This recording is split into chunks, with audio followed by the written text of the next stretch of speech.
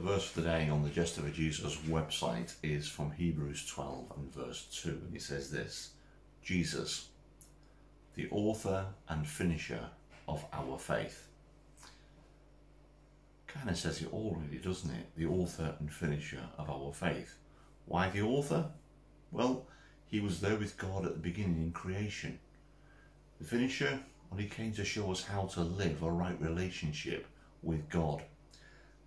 Throughout the whole of the Bible, the Old Testament points to Jesus and the New Testament talks about Jesus and the fulfillment of that broken relationship from creation being mended and put back together again.